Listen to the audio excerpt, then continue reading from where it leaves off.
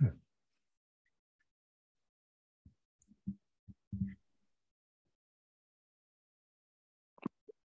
mean, I have 10 people waiting on the stream already, so it's gradually ramping up.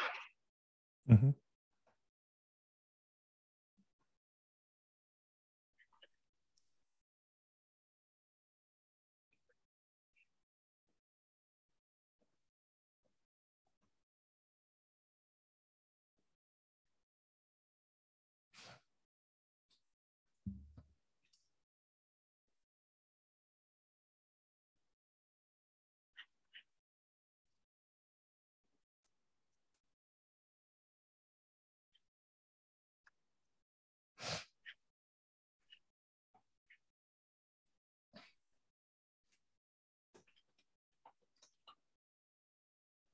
Yeah, but I guess that it's nighttime in the in the United States. So yeah, yeah, in, yeah. In the US, that's going to be difficult, but that's that's yeah. why we do the recording as well. Mm-hmm. Okay. I'm, I'm just going to go live now. We hit ten o'clock, so on yep. the stream. Okay.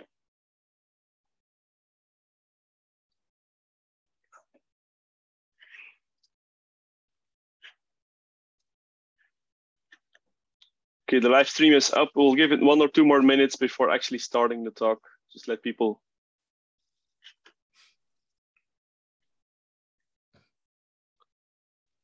let people join in.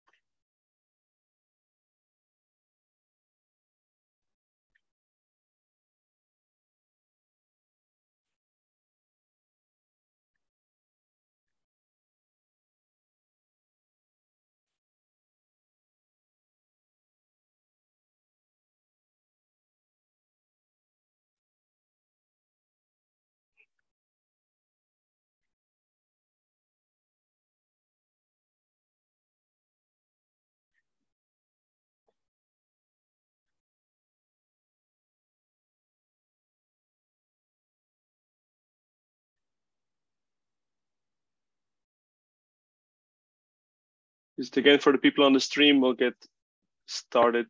Well, now it's two past the hour. Okay.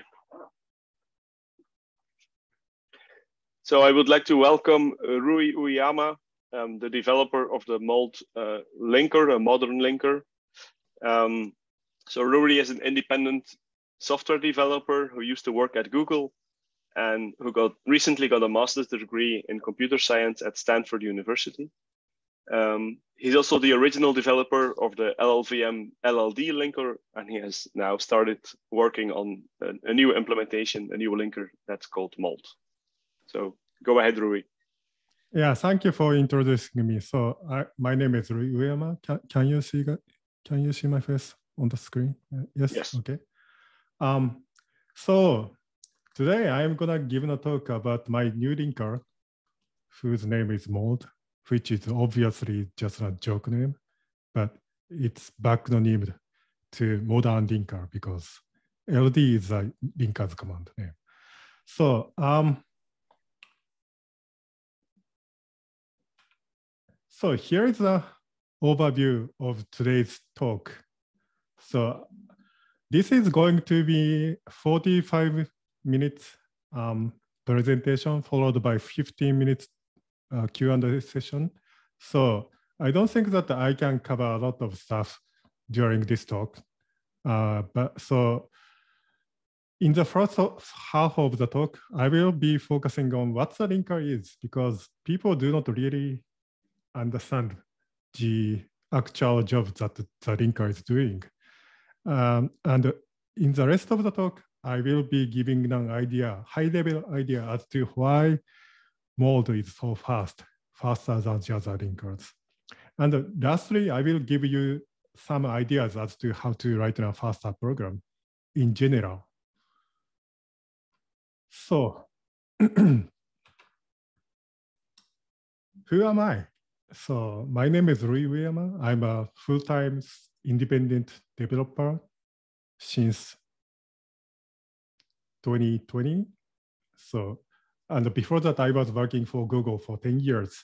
And, and at there, I was in uh, the compiler team, and specifically, I was working for LLVM. And I was creating LLD linker. I'm the original creator of the linker. And, um, and I left the company. And then I started a new project called Mold. And I've been working on that project for almost two years.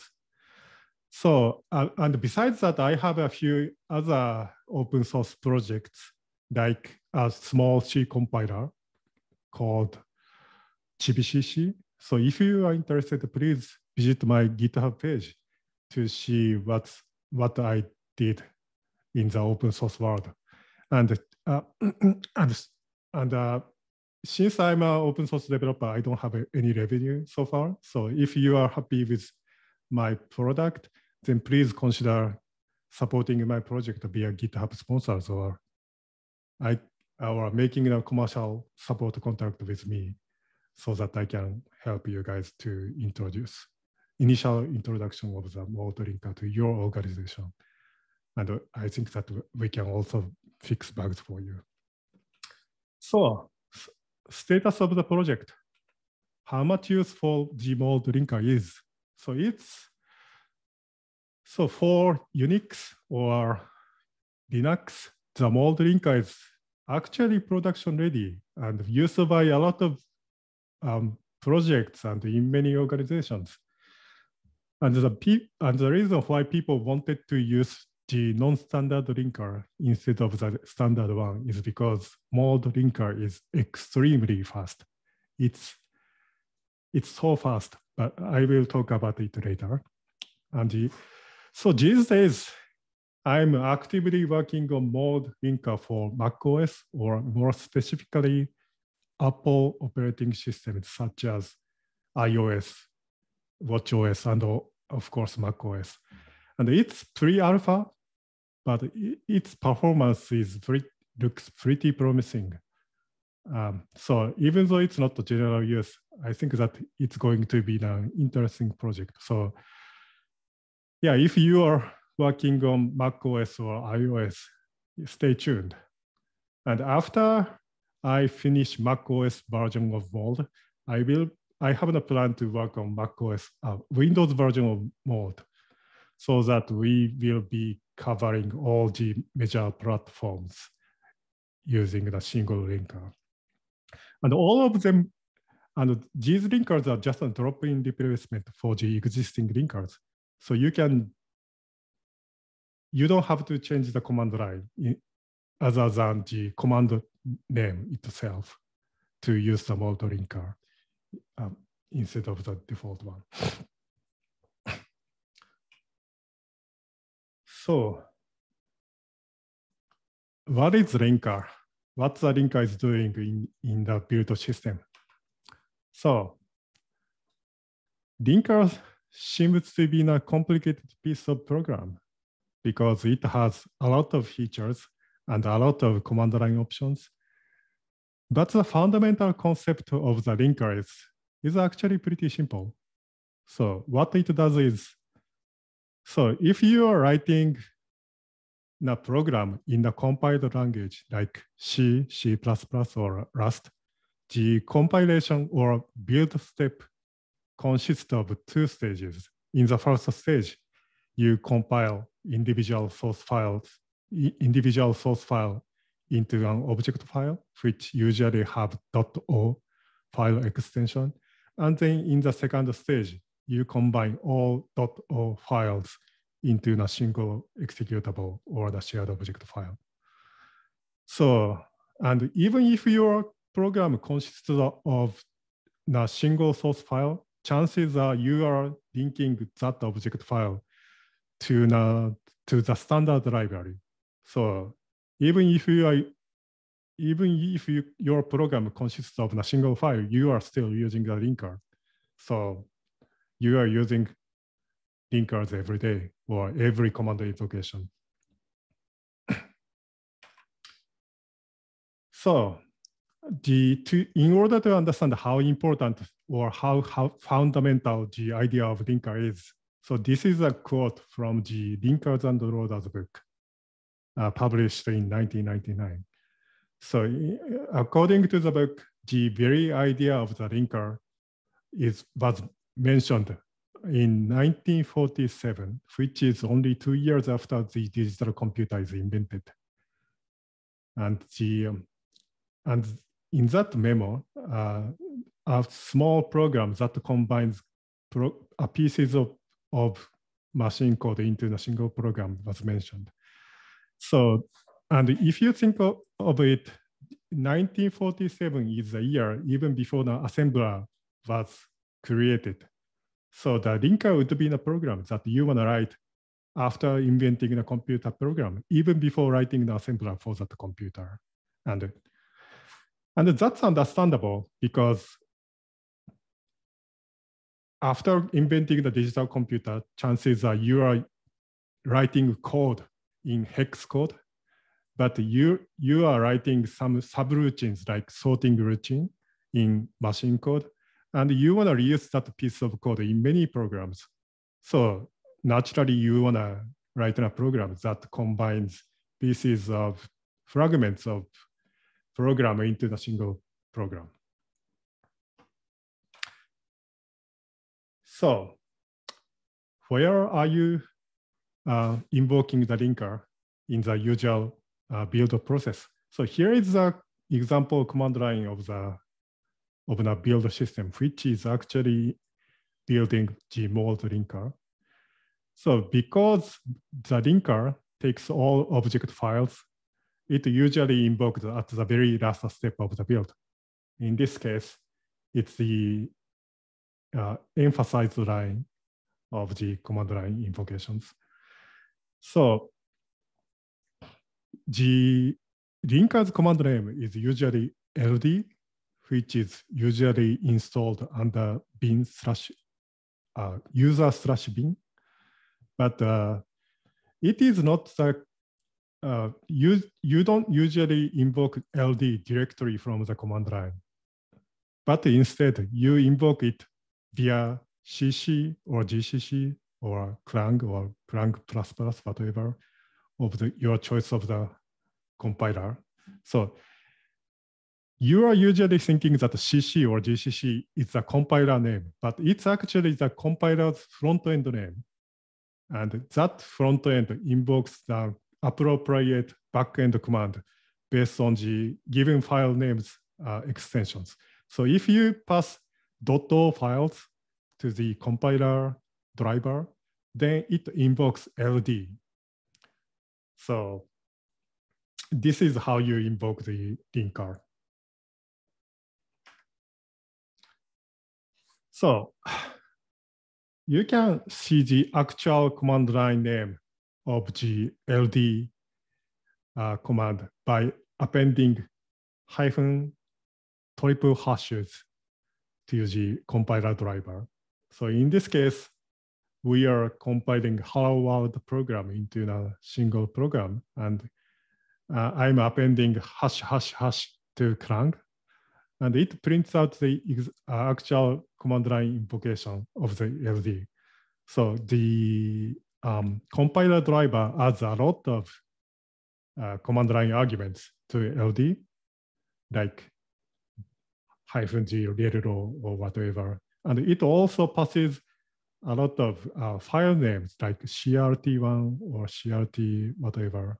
And these are implicitly linked to your program because they are startup routine and shutdown routines that needs to be linked to every program. And the, com uh, the compiler driver also passes the directory names in which the standard libraries are stored, like user bin, lib, or whatever. So, and the compiler knows the, the structure, directory structure of the system, so it passes all the necessary command line options to the, to the linker. And uh, if you have any question, uh, please interrupt me anytime so that I can answer. So here is a here is a question. Why do we need a linker? I mean, why can't you make the compiler to directly emit the entire complete program instead of the fragment of the program? And the answer is, well, we can actually do that. We can actually make the compiler to emit a complete program. But in order to do that, you have to pass all source code to the compiler, including standard libraries.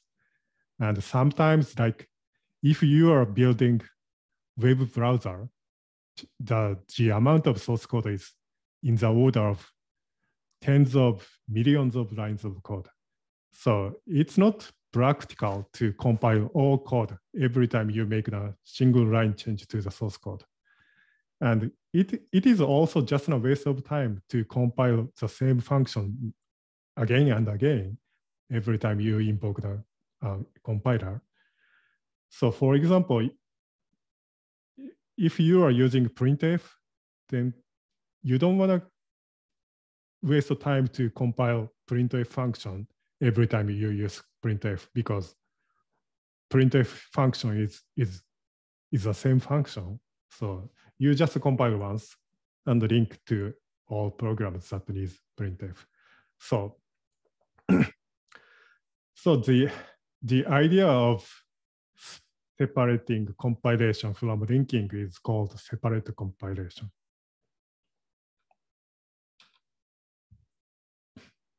So in order to understand why, what, what the linker is doing, you, you first have to understand the, what's, the, what's inside the executable and how it is in, um, executed in, in the computer, on the computer.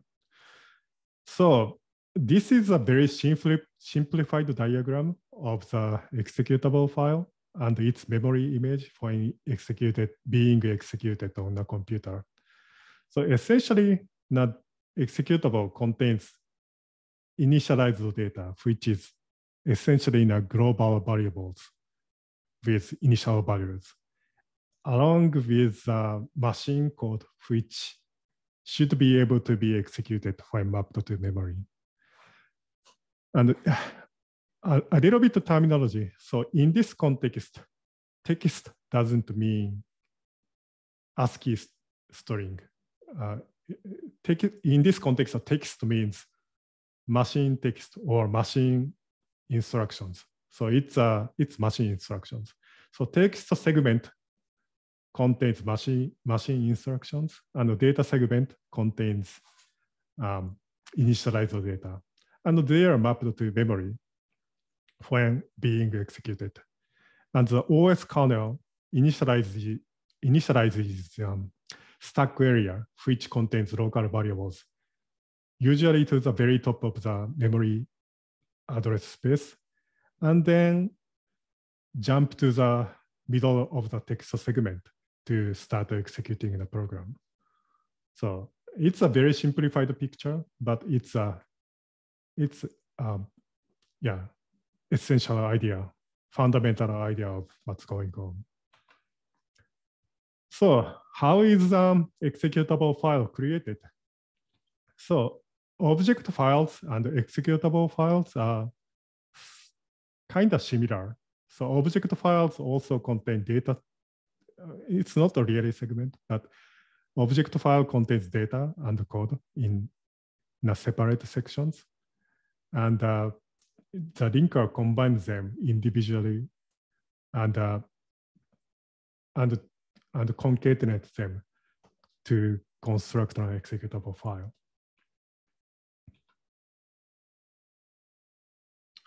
So what's in an object file? So here is a, so I'm gonna explain it. So here is an um, compile, what, so if you compile a small piece of program that is shown on the left-hand side of this slide to the assembly, you will get something like the assembly on the right-hand side. And um, so this is a Hello World program. Uh, it prints out a constant string to the standard output. So take a look at the assembly output. So if you carefully take a look at it, you would notice that uh, there is similarities between the C program and its compiled assembly. So assembly contains um, literal string as it is, and it also contains function call from the fourth line from the bottom, call printf. So it kind of preserves the original uh, structure of the program. So function call is still function call in assembly. And, but uh, assembly text is not something that in, in the object file. What's inside of object file is actually in a machine code, which is not readable to humans. But we can disassemble it so that uh, to display it as a assembly. So this is a picture of disassemble output of the same function. And since assembly is a very assembly is a language that very close to the um, machine code, disassembling it is kind of one one to one operation, but uh, not all information can be store, restored from the compiled compiled code. So take a look at the uh, call instruction in the executable uh, object file. So here is a here is a line to call printf function. So E8 is uh, is x86 opcode to make the function call, which should be followed by four bytes displacement to the to the location where we want to jump next. So the four byte offset has to be filled with the relative uh, relative location from this very instruction to the beginning of the printf function in memory. But the problem here is that uh, the compiler doesn't know where the printf function is at runtime when we compile source code. So we include a header file, but it only tells the compiler of the existence of the function and the type of the function, but it doesn't tell you where the function is at runtime. So the compiler cannot fill that value. So it has no choice other than leave it at zero. But instead, so it leaves an, a piece of a piece of information in an object file saying that fix these four byte value uh, with the relative, relative distance to the printf function. And that kind of information is called relocation. So, so the linker, when combining object files, interprets relocation records to fix offsets. It's essentially by binary patching object files created by um, compiler to make the complete program. So based on that understanding, here is a basic picture of what the linker is doing. So linker does combine object files into a single file and then applying relocations so that inter-object file references are correctly referring to the right place. So, and this is this is a this is actually the fundamental understanding of the um, linker, and everything else is secondary.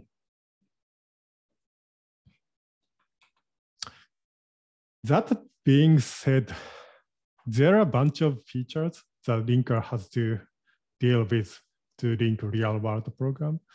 And, and notably, linker usually have to handle uh, libraries like the standard libraries or the a third party library or a library you wrote for yourself.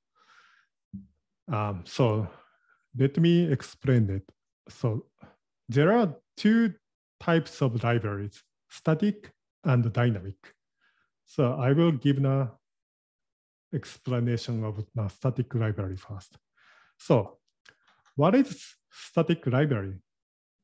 So static library is, uh, is just a bundle of object files, which usually has .a file extension.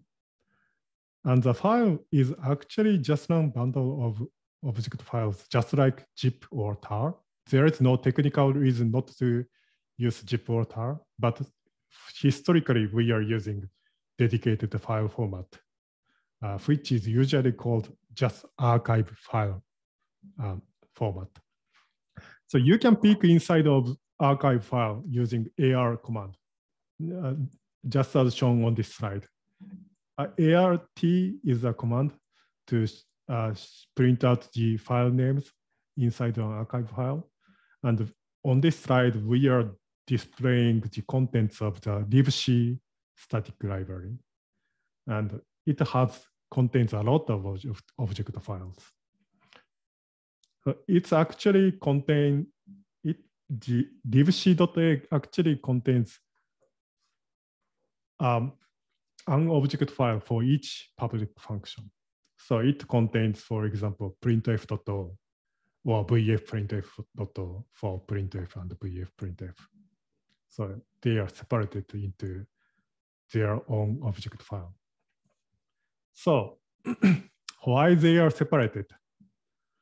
Uh, it's why can't we make the single object file that contains all libc functions?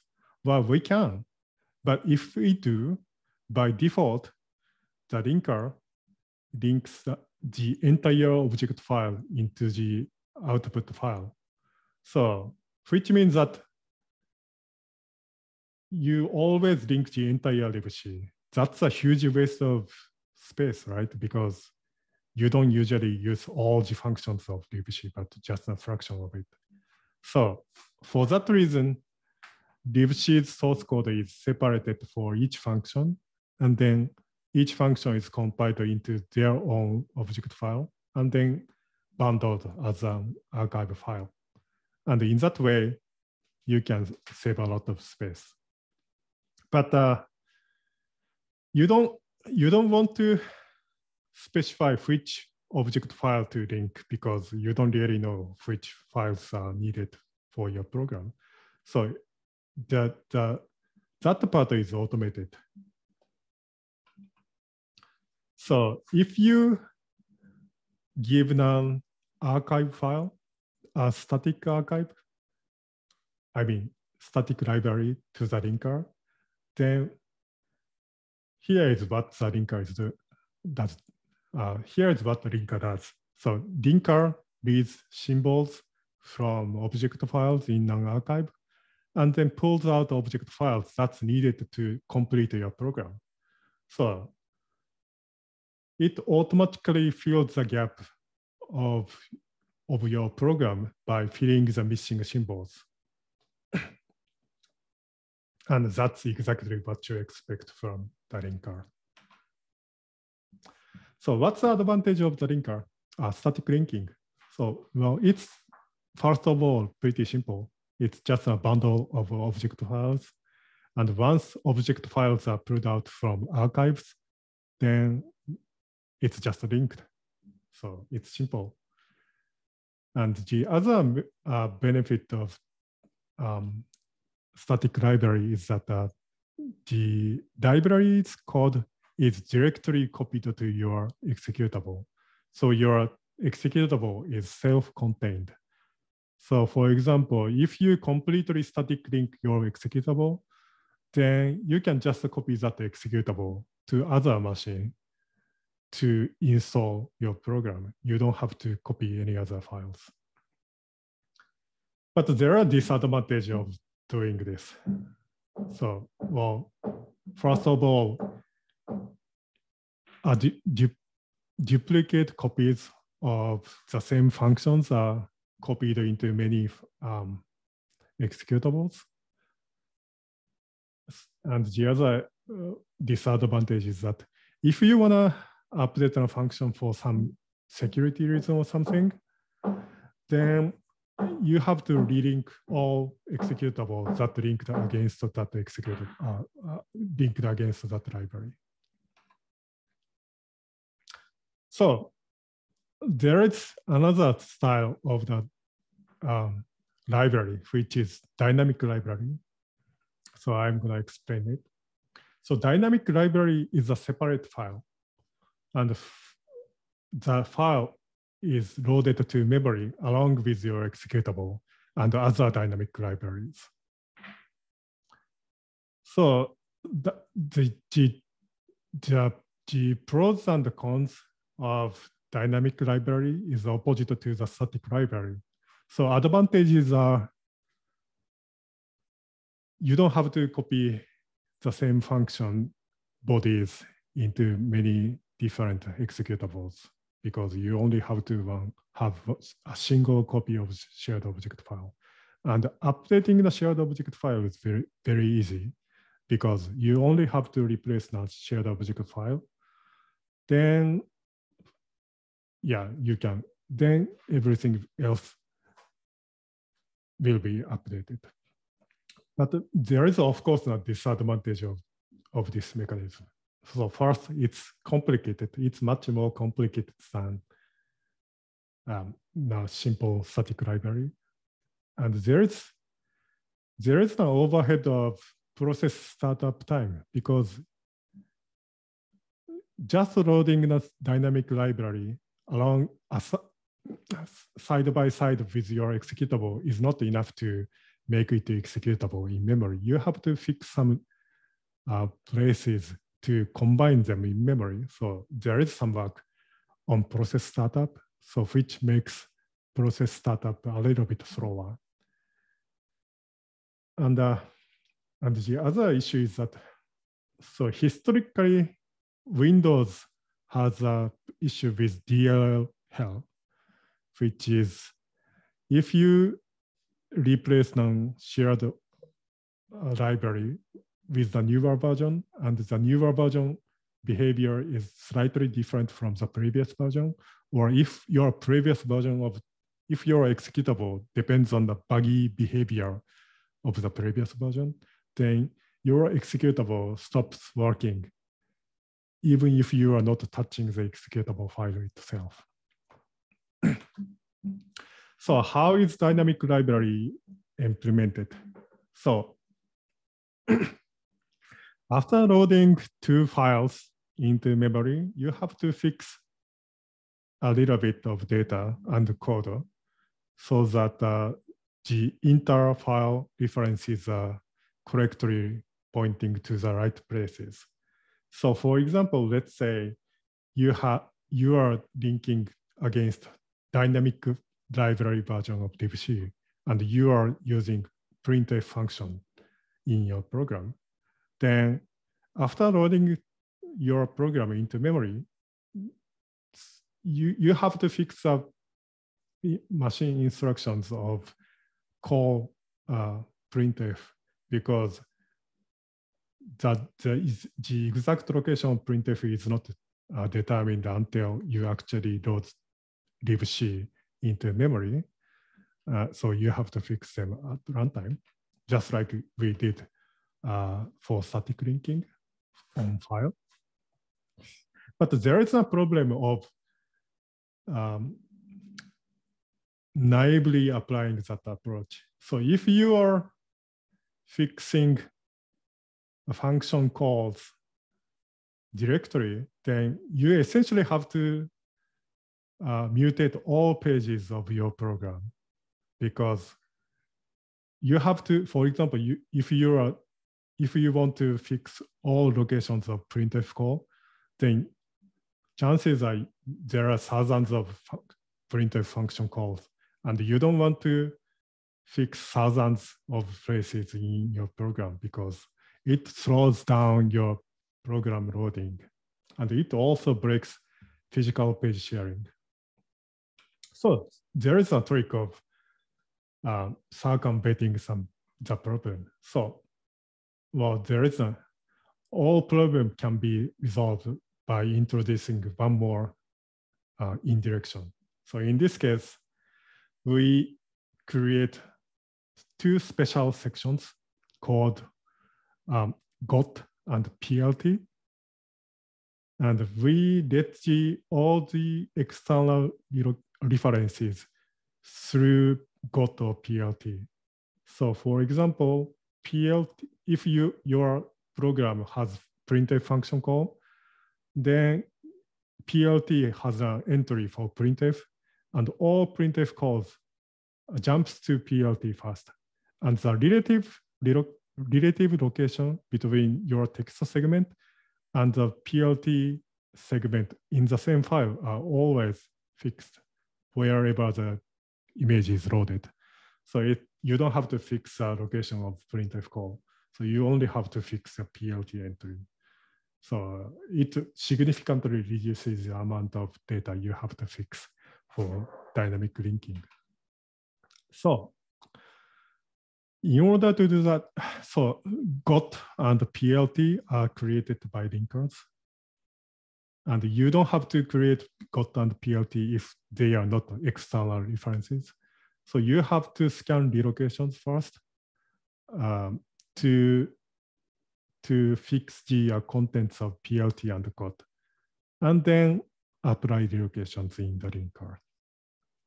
So this is a tricky part because you, you have to do this first. This, this has to be two, step, two steps because you, in order to fix the file layout or memory layout of the executable, you have to know the exact size of GOT and the PLT.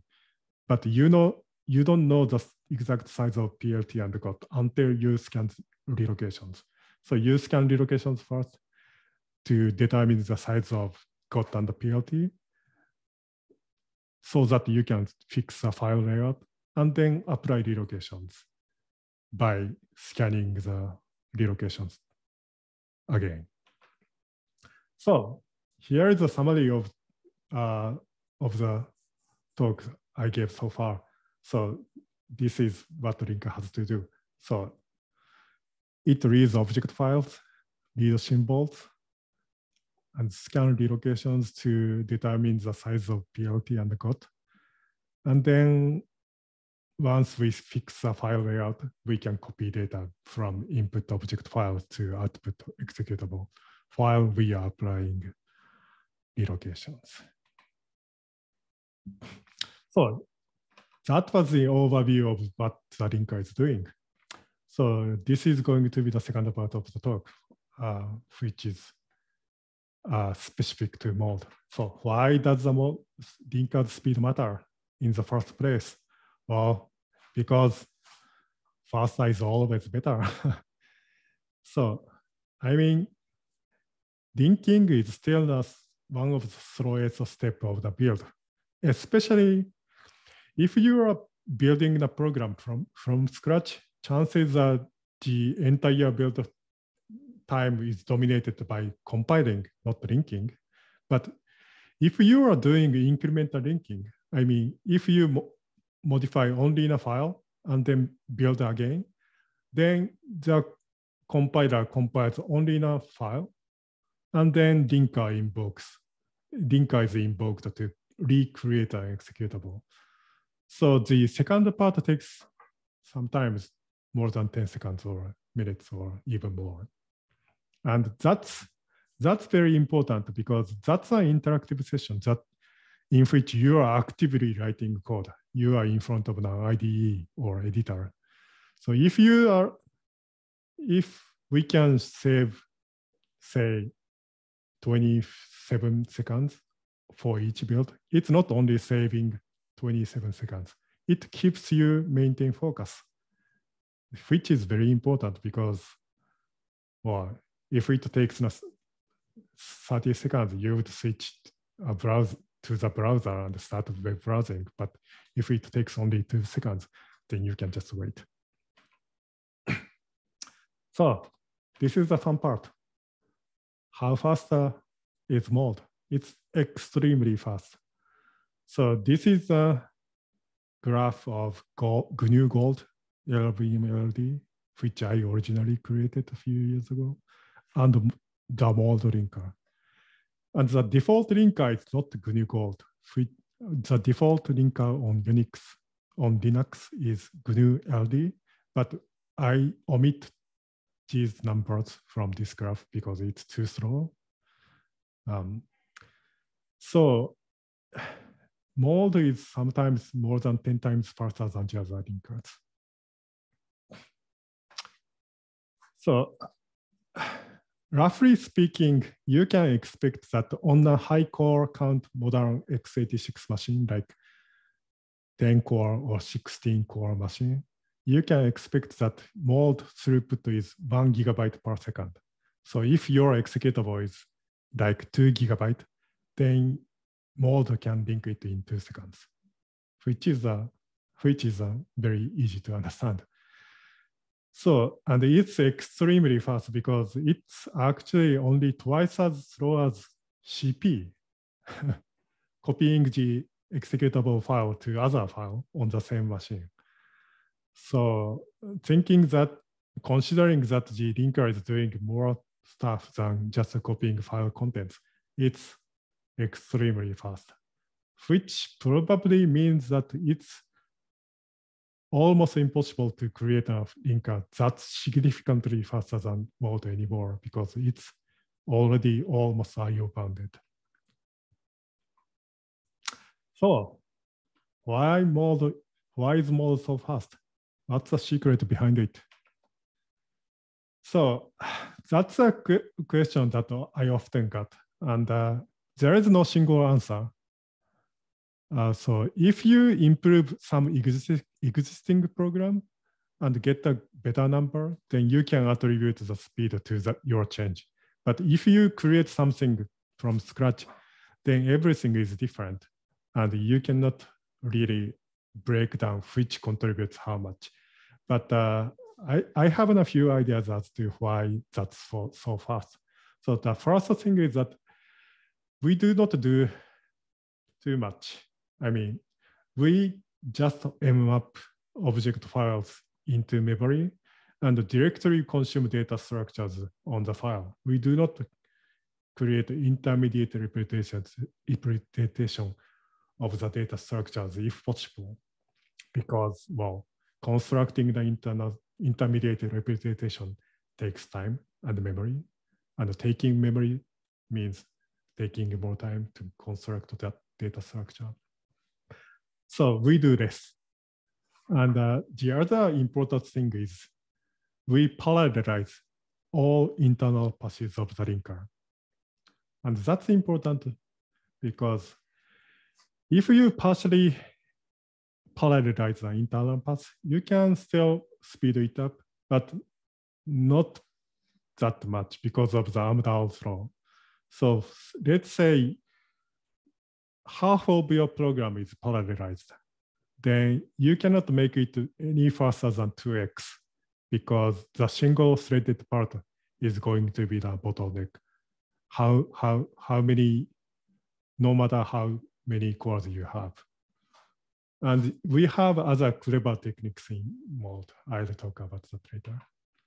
So here is a visual uh, explanation of the differences of LD and mold. So the, to the left is LD, and this is the usage of per core CPU usage. So during the execution, LD consumes uh, runs only on a single core, and sometimes uses all cores. But uh, throughout of its execution, it's mostly single-threaded. And that limits the overall speed because of the Amdahl's law. So to the left is the, is the same benchmark of mold. And in mold, it uses all cores from the beginning of the, to the end. Um, so in this demo, I capped the number of cores to 16, but it can scale more. so yeah, it's parallelized. It, it's uh, in all internal passes, and it's, it finishes very quickly, as you can see. So,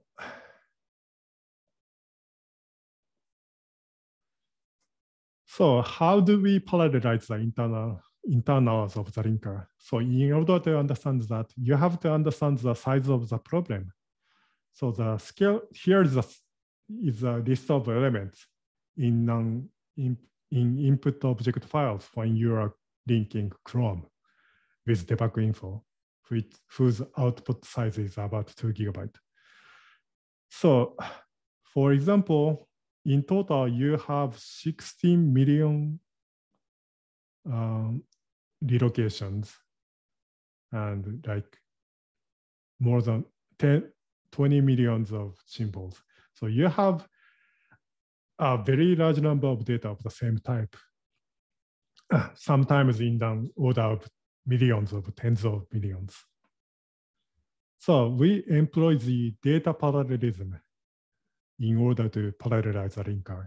So data parallelism is a paradigm to process large amount of data of the same type in parallel. So it scales very well because uh, in order to process each individual piece of data, you don't have to um, synchronize to between threads. and it's also easier to understand than a program with more compli complicated uh, synchronization mechanism and communication mechanism because data parallelism is essentially in a for loop that happen to be executed in parallel. So besides that, we also use some clever, smart uh, data structures for uh, concurrent programming. One is that uh, we use concurrent map, which is implemented in Intel TBB. Intel TBB is a library to support concurrent programming, and I really recommend to, uh, using that library if you are doing uh, concurrent programming. So concurrent ma map is just a map, but uh, it is designed in a way that you can efficiently insert uh, new elements from multiple threads into a single um, map. So we use concurrent map for symbol name resolution. So there is only, there is a, the central uh, hash map which knows all symbol names. And for each object file, we run a thread to read the symbol table and install symbol names into the concurrent hash map. And since concurrent hash map scales well, we can do that in parallel. And that speeds up a, a lot compared to reading each file individually, sequentially. We also use other in, um, parallelism patterns like map reduce pattern. So here is the example. So if you pass hyphen hyphen build hyphen ID to the linker, then that instructs the linker to compute a crypto hash of the of the output file, and then embed that hash function, uh, hash value as a signature or, uh, to the output file. So as long as you get the, the same output file, you get the same signature. So yeah, it, it can be used as a signature. And it, computing the crypto hash for a large file takes time, like seconds, in the order of seconds. So we want to parallelize it. So here is what we were doing. So we consider the output file as a sequences of small records, like 10 megabytes of records, and we compute SHA hashes for each uh, pieces of data. And then we compute SHA hash of the SHA hashes um, as a signature of the file. So this way, we can parallelize the first step. And then since SHA hash is very small, the second step doesn't take too much time. So I think this is a no, this is not. A, uh, uh, and we use other uh, techniques to speed things up because mold's point is to make to is the speed, and we use we are using all techniques that we can use to speed it up. One of the significant diff, one of the changes that made a significant difference is to use alternative malloc function. So glibc's malloc function function didn't scale well for many cores. So we benchmarked with jemalloc, TBB malloc, tcmalloc, and mimalloc, which are excellent implementations of malloc function. And then based on the benchmark, we chose mimalloc, which is created by Microsoft that scales best for us. So thank you for Microsoft for creating mimalloc and open sourcing it. and the other technique we are using is we noticed that um, writing to a file, existing file that's already in buffer cache is much faster than creating the new file and writing to it. So we overwrite an existing file if it exists, unlike other linkers. The other technique that we use is that, so we notice that um, if we mmap a lot of uh, input files and the large output file, exit system call takes time, like few hundred milliseconds. So if we are, if you are aiming one second or two seconds goal, a few mil, few hundred milliseconds is a huge waste of time. So we organize the linker into two processes. So the first process, the parent process, invokes the child process, and the child process does its job to link the program. And as soon as the, the second child program completes its job, it notifies the parent, and then parent exits. And it looks like the exit of the program from the user's point of view. And the child takes time to exit because it's not an inter interactive process.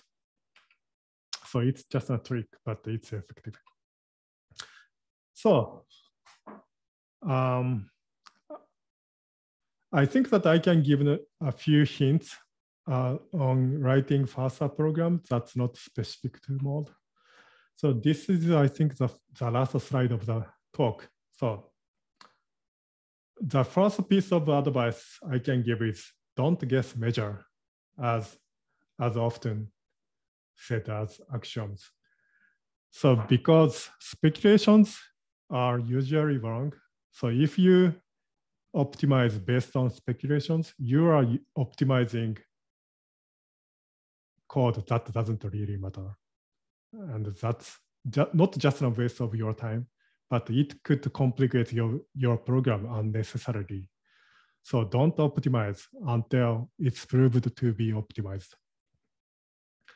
The second piece of advice is that don't try to write faster code.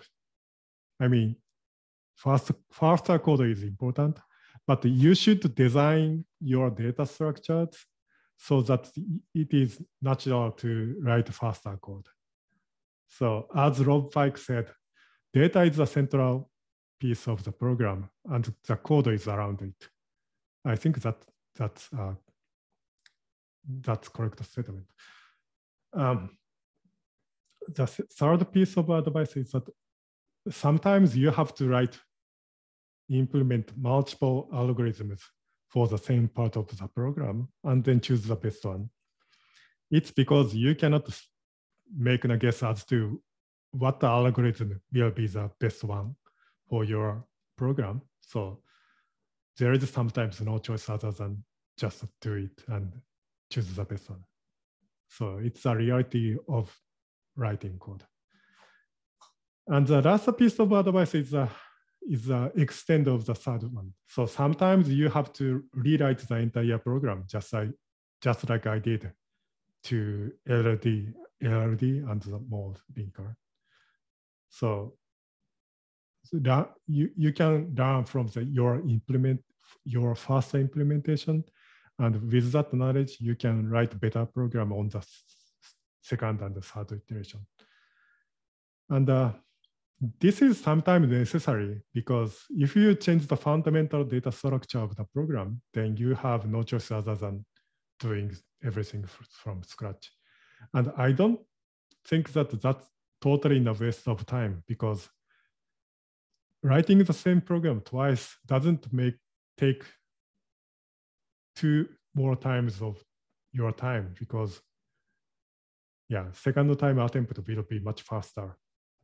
So it's sometimes worth it. I, I don't recommend it casually, but in reality, you sometimes have to do it. And I think that's the end of my talk. Right. Thank you very much, Rui. Uh, I think this was really good. Uh, really good focus and technical, but not not too deep, let's say. Uh, and I'm, I'm, sure there's lots of more technical tricks that you pull in mold to to make it faster. But uh, yeah, if you are interested in the if you are interested in the actual optimizations I made to the mold linker, you should take a look at the source code. And I also wrote the design documents and and yeah, saved to GitHub. So well, please take a look at the source code and the documentation. All right. Um, we have a, I think, a, a bit of a technical question um, from someone watching the stream. So I'll, I'll just okay. read the read the question. Do all mm -hmm. calls to a common external symbol share a unique record in the in the PTL and, and GOT tables? So the advantage is there's only one relocation per symbol instead of n relocations. Uh, so, sorry, what? Can you say the beginning part of the question? So do all calls to a common external symbol share a unique record in the PTL and GOT tables? Do all GOT? All calls, also all function oh, all calls. calls. Uh, uh, yes. yeah, so the, the, you're basically making making those tables so there's uh, a, a, unique place to then reference from. Yeah. That, so yeah. you aggregate all function calls into one place before it jumps to external module. Right. Yeah. Okay. And um, a follow-up question that I had related to that is that you you mentioned that before you can create those tables, the, the GOT and, and PLT, you need to know how big they are. So you mm-hmm. have to scan all the symbols first. So you know you need to know how much room is needed there. Yeah. That that seems like something that you may be able to win some um, some time on as well. So I'm, and I'm not sure if, if this could ever work, but what if you just make an, an educated guess for the size? Let's say, I don't know, one megabyte. I don't know if that's sensible, but just to name something. So you, you say, okay, let's assume it's one megabyte and then we'll start filling it. And only when you notice it's not big enough, you, you redo things. So I, I think you may end up with a situation where in most cases it's very fast, and in some cases you have to redo some work and that, then it's maybe a little bit slower. Yeah you can do that. And you can also put the plt and got to the end of the file so that it can grow without pushing other stuff uh, down in the memory address space. Mm-hmm. but uh,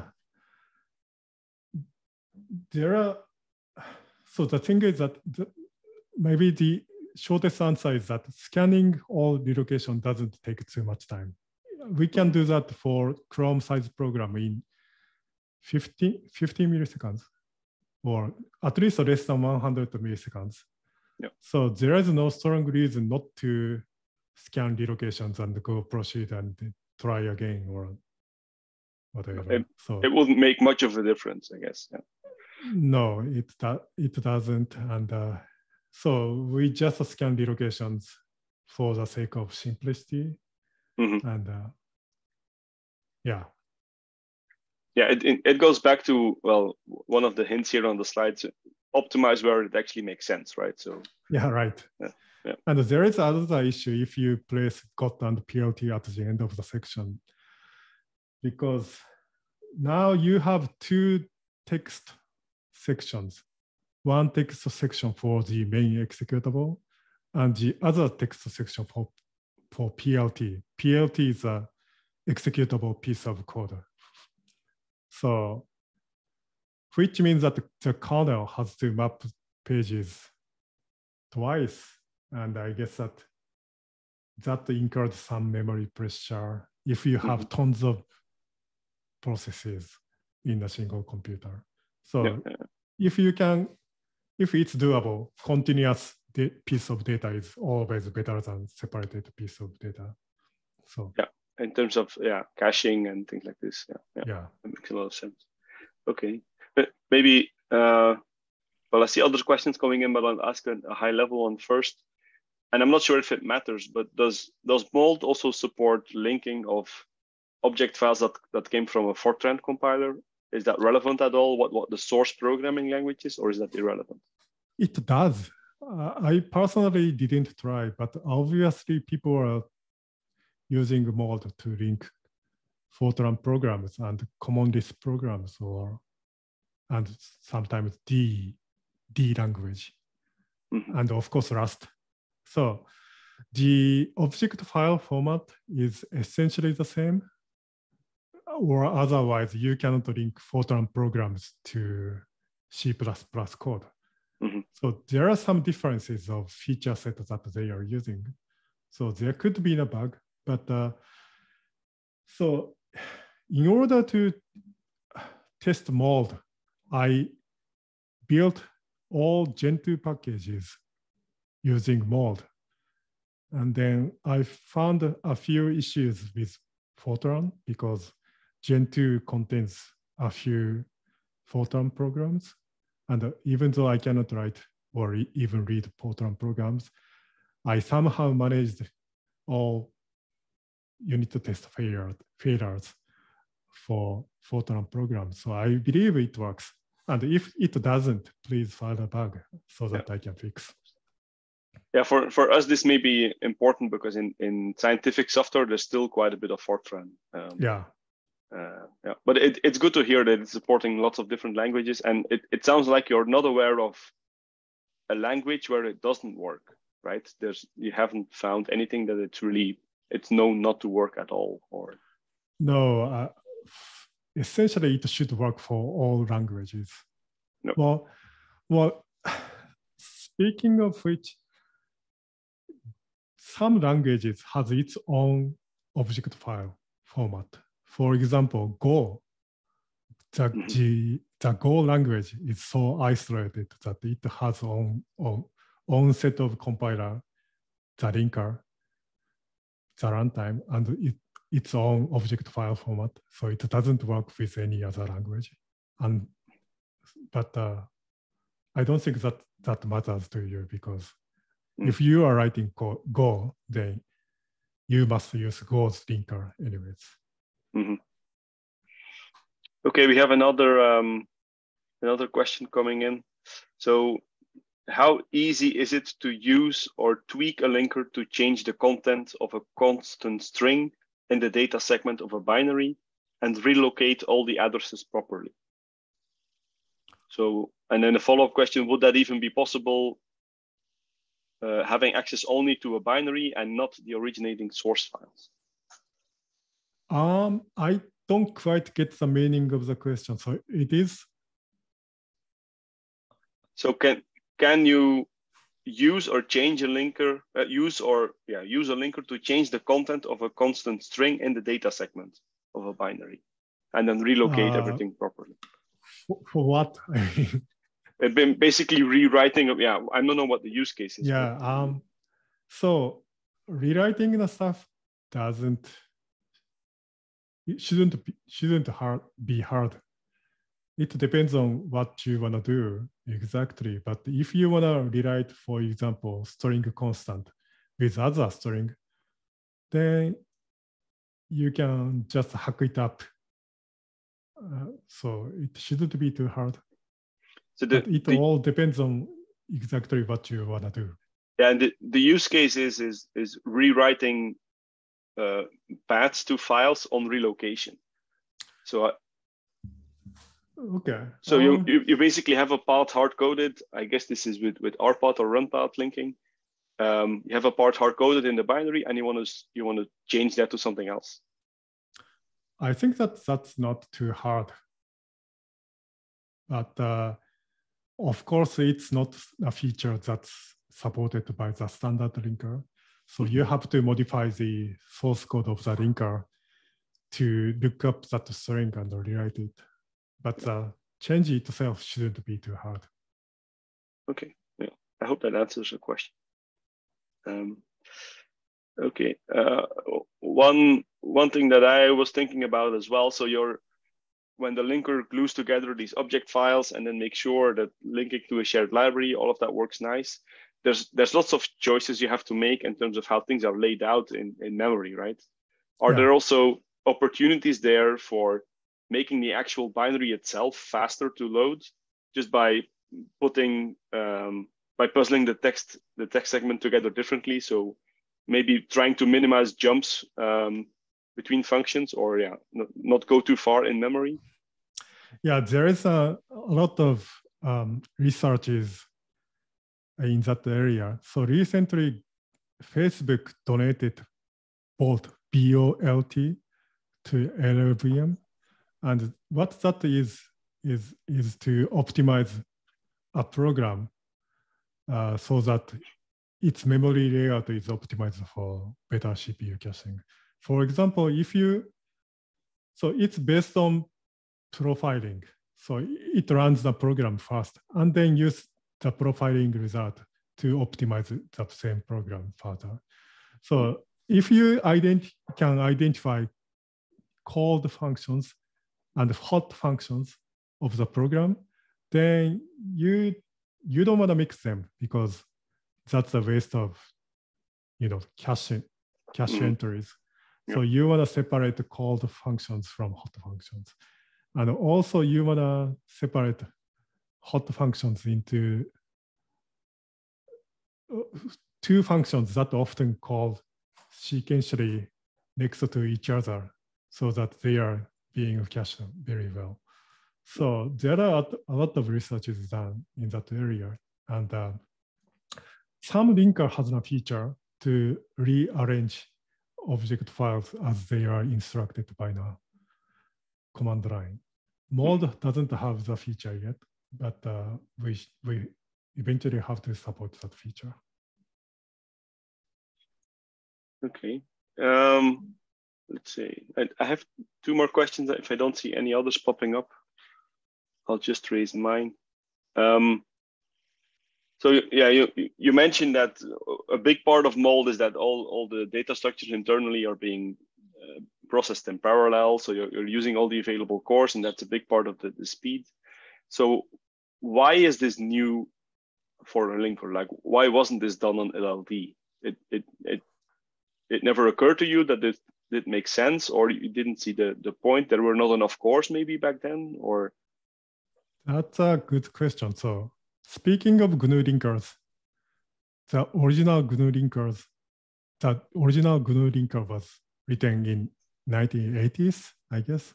So it's extremely old, and I don't think that multiple core machines are popular mm-hmm. in that era. GNU Gold is designed to be scale well for multi-threading, multi-threading, but it turns out that it didn't scale well in practice for some technical reason. And when I was creating LLD, my main focus was to create a linker which is compatible with GNU. And the speed was the secondary. And it turns out to be much faster than GNU, but it wasn't the original goal.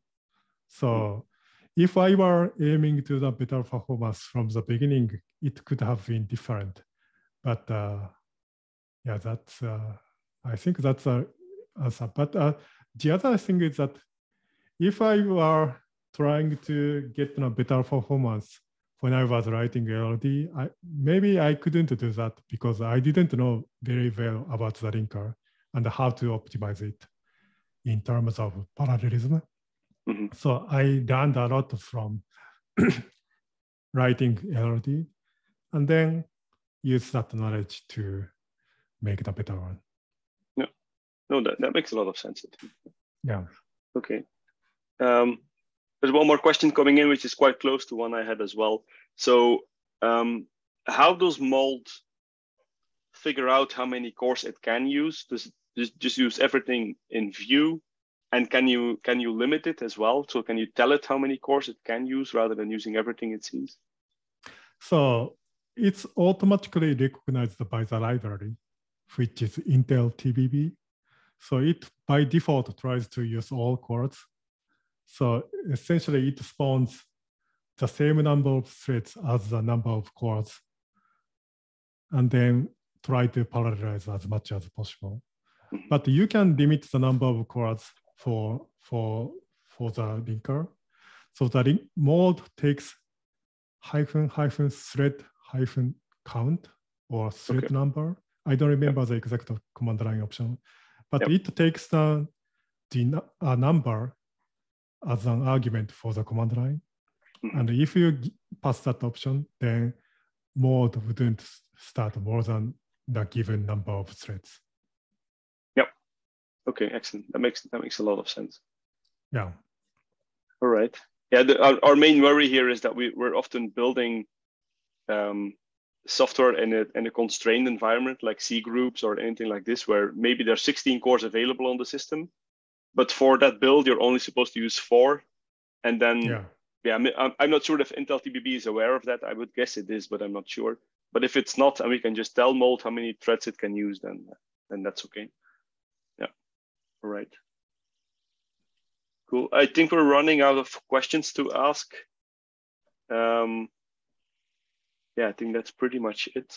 So I, I, I, want to wrap up with thanking you very much for the, the excellent talk. I think the, the level of, of the, yeah, the technical level and the amount of depth was, was perfect. Um, so thank you very much for uh, spending the time to really explain to us what a linker is and what it does. Um, and yeah, all the best of luck um, with, uh, with your work on mold. And again, I just want to echo um, one of the statements you made uh, at the start. You're, you're doing this basically independent. Um, so if people are up for sponsoring you um, to keep working on Mold, uh, they should definitely consider that. Uh, so they can take a look at your GitHub page uh, for more information. Yeah, thank you for inviting me to give the talk. Thank you very much. Bye-bye. Bye-bye.